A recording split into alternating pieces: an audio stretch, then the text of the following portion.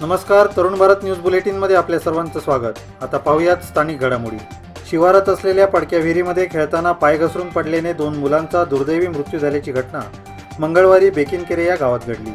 या घटनेत सुदैवानेच एक मुलगा बचावला असून या घटनेमुळे बेकिनकेरे परिसरातून हळहळ व्यक्त करण्यात येत आहे. लोकेश विठ्ठल पाटील वय दहा राहणार बेकिनकेरे व निखिल रामू बोंद्रे वय आठ राहणार ढेकोळी तालुका चंदगड अशी त्या दुर्दैवी मुलांची नावे आहेत.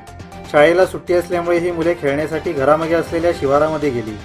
गावापासून अर्धा किलोमीटर असलेल्या पडक्या विहिरीजवळ खेळताना तोल जाऊन लोकेश आणि निखिल ही मुले विहिरीत पडली. त्यामुळे त्यांचा बुडून मृत्यू झाला. तर त्यांच्यासोबत खेळणारा एक मुलगा मात्र सुदैवाने बचावला आहे.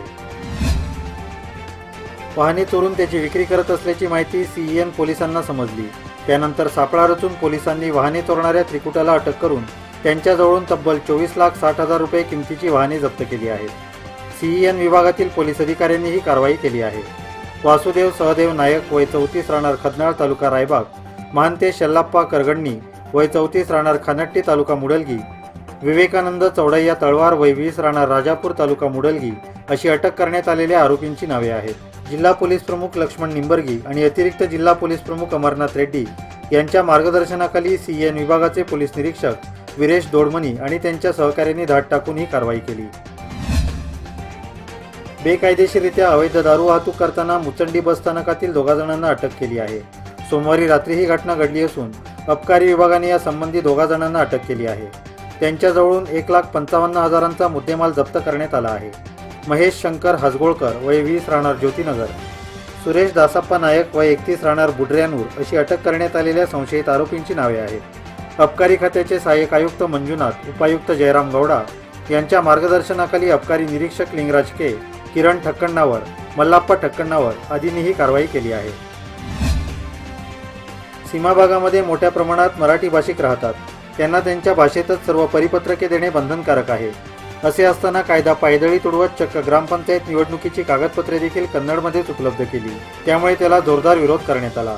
तरी देखील कन्नडमध्येच कागदपत्रे द्या असा आग्रह सुरू असताना तालुका पंचायत सदस्य सुनील अष्टेकर यांनी मुदगा ग्रामपंचायतमध्ये असणाऱ्या निवडणूक अधिकाऱ्यांना चांगलेच धारेवर धरले. त्यामुळे मराठीतच अर्ज स्वीकारले गेले. यामुळे मराठी भाषिकातून काहीसे समाधान व्यक्त होत आहे. काही वेळा राजकारणापासून मी अलिप्त राहण्याचा प्रयत्न केला.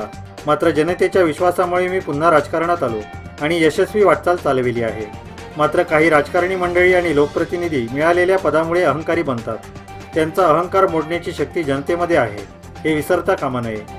असे प्रतिपादन कर्नाटक सरकारचे दिल्ली येथील विशेष प्रतिनिधी शंकरगौडा पाटील यांनी केले आहे. बेळगाव शहरातील मराठा समाज संघ संस्थांच्या वतीने शंकरगौडा पाटील यांचा सत्कार करण्यात आला. यावेळी त्यांनी वरील विचार मांडले आहेत. भारत बंद आंदोलनाला बेळगाव जिल्ह्यातील शेतकरी व इतर संघटनांनी पाठिंबा व्यक्त केला. त्याचबरोबर बेळगाव जिल्हा बंदची हाक देखील दिली. मात्र या बंदला जिल्ह्यामध्ये संमिश्र प्रतिसाद मिळाल्याचे दिसून आले. या बंदच्या पार्श्वभूमीवर शहरासह राष्ट्रीय महामार्ग आणि परिसरात कडेकोट पोलीस बंदोबस्त ठेवण्यात आला होता. केंद्र सरकारने शेतकरी करार किमती हमी व शेती सेवा कायदा शेतकरी शेतमाल व्यापार व विक्री कायदा अत्यावश्यक वस्तू दुरुस्ती कायदा केला. या तिन्ही कायद्याविरोधात या शेतकऱ्यांनी हे आंदोलन केले आहे. या कायद्यांमुळे शेती व्यवसाय धोक्यात आला असून तातडीने हे तिन्ही कायदे रद्द करावेत अशी मागणी शेतकऱ्यांनी केली आहे. अप्पर जिल्हाधिकारी अशोक दुडगुंटी यांना यासंबंधी निवेदन देण्यात आले. या मोर्चाला मुस्लिम बांधवांनीही पाठिंबा जाहीर केला होता. अवचारट्टी येळूर येथील ग्रामदैवत विठ्ठलाई देवीच्या मंदिराचा जीर्णोद्धार करण्यात येत आहे. मंगळवारी या मंदिराचा स्लॅब भरणी कार्यक्रम मोठ्या उत्साहात पार पडला. प्रथम दर्जाचे government contractor Vijay Dhamnekar Sunil Patil PW D contractor Dattabal Kakatkar यांच्या हस्ते स्लॅबचे पूजन करण्यात आले. विठ्ठलाई देवी मंदिराचा जीर्णोद्धार मागील काही महिन्यापासून केला जात आहे. शेतकऱ्यांची देवी म्हणून या देवीचा महिमा आहे. त्यामुळेच वडगाव येळूर धामणे परिसरातील शेकडो भाविक दर्शनासाठी येतात. येळूर येथील पाटील कुटुंबीय व अवतारट्टी येथील ग्रामस्थ यांच्या माध्यमातून जीर्णोद्धार होत असल्याचे सांगण्यात आले. या कार्यक्रमाला परिसरातील भाविक व अवतारट्टी गावातील ग्रामस्थ मोठ्या संख्येने उपस्थित होते.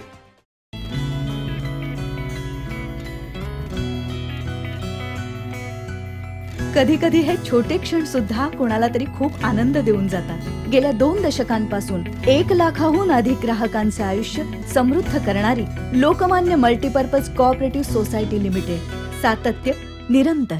खानापूर शहरात जेमतेम मोजून सहा ते सात एटीएम आहेत. त्यातील बाजारपेठेत तीन आणि उर्वरित शहराच्या इतर भागात आहेत. बाजारपेठेत ग्राहकांची गर्दी अधिक असल्याने अनेक जण पैसे काढण्यासाठी बाजारपेठेतील एटीएमचा पर्याय निवडतात. मात्र गेल्या काही महिन्यांपासून बाजारपेठेतील दोन ए टी एममध्ये तांत्रिक बिघाड झाल्याने दोन्ही A T M out of service आहेत. याचा नाहक त्रास ग्राहकांना होत असून पैसे काढण्यासाठी ग्राहकांना लांबचा रस्ता गाठून पैसे काढावे लागत असल्याने ग्राहकातून नाराजी व्यक्त केली जात आहे. बेळगाव चंदगड मुख्य रस्त्यावरील कुद्रेमणी गावच्या फाट्याजवळील शेतवाडीमध्ये रानटी गविरेड्यांचा कळप दाखल झाल्यामुळे शेतकरी वर्गात भीतीचे वातावरण निर्माण झाले आहे. ग्रामपंचायत सदस्य मोहन पाटील यांचा रस्त्यालगत ऊसमळा आहे. ऊस तोडणी झाल्यामुळे ऊसाचे कोंब मळ्यामध्ये आहेत सोमवारी सकाळी वीस ते पंचवीस लहान मोठ्या गविरेड्यांचा कळप या ठिकाणी निदर्शनास आला. मोहन पाटील यांनी नागरिकांच्या जागरूकतेसाठी मोबाईलवर गविरेड्यांचा फोटो व्हायरल केला होता. हे प्राणी पाहण्यासाठी ये जा करणाऱ्यांची रस्त्यावर गर्दी झाली होती. गर्दीच्या आवाजाने या ठिकाणी असलेल्या गविरेड्यांच्या कळपाने गणेश बागेकडून पुढे जंगलाच्या दिशेने कूच केली. शहरात भटक्या कुत्र्यांचा उपद्रव मोठ्या प्रमाणात वाढला असून हे भटके कुत्रे अन्नाच्या शोधात असतात. जर अन्न मिळाले नाही तर ते रस्त्यावरून ये जा करणाऱ्या नागरिकांचा तावाही घेत आहेत. टिळकवाडी सोमवारपेठ मंगळवारपेठ व गुरुवारपेठ यासह आदी भागात या भटक्या कुत्र्यांचा उपद्रव मोठ्या प्रमाणात वाढला असून नागरिकांची डोकेदुखी वाढली आहे. या सर्व प्रकाराला वैतागलेल्या या परिसरातील नागरिकांनी महानगरपालिकेने या परिसरातील भटक्या कुत्र्यांचा बंदोबस्त करावा अशी मागणी केली आहे. S G Balekundri institute of technology महाविद्यालयातील कॉम्प्युटर सायन्स या विभागातील विद्यार्थिनी सेजल पाटील. ही या विभागात पहिली आल्याबद्दल तिला शाल प्रशस्तीपत्रक गोल्ड मेडल आणि दहा हजार रोख रक्कम देऊन जिल्हाधिकारी एम जी हिरेमठ यांच्या हस्ते गौरवण्यात आले. केंद्र सरकारने मंजूर केलेले कृषी कायदे हे शेतकरी विरोधी असून ते रद्द करावेत या प्रमुख मागणीसाठी शेतकरी संघटनांनी देशपातळीवर बंदची हाक दिली होती. त्याला निपाणी व चिकोडी परिसरात संमिश्र प्रतिसाद मिळाला. यावेळी निपाणी शहरातील प्रमुख मार्गांवरून मोर्चा काढून येथील नेहरू चौकात धरणे आंदोलन करण्यात आले. यावेळी शेतकरी विरोधी असलेल्या केंद्र सरकारचा धिक्कार असो अशा घोषणा देण्यात आल्या.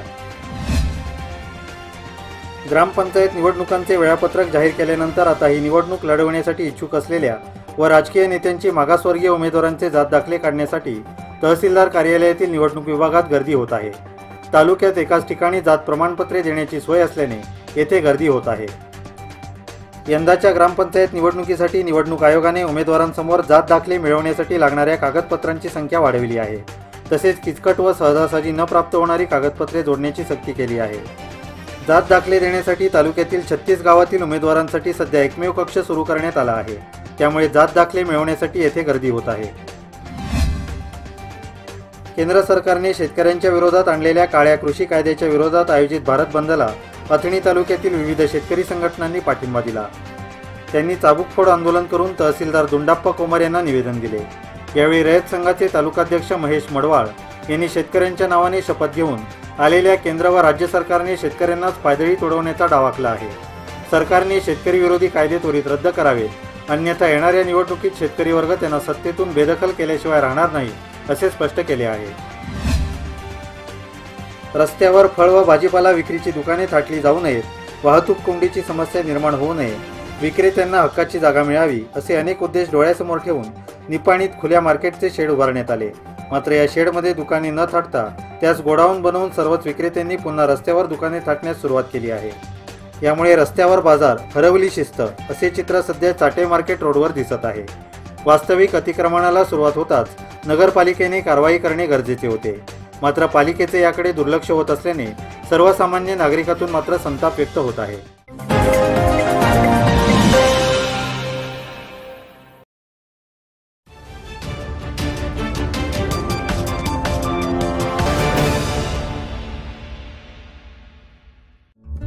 सबस्क्राईब करा तरुण भारत डेली बेलगाम न्यूज चॅनलला आणि ताज्या घडामोडी सर्वात आधी जाणून घेण्यासाठी बेल आयकॉनवर क्लिक करा.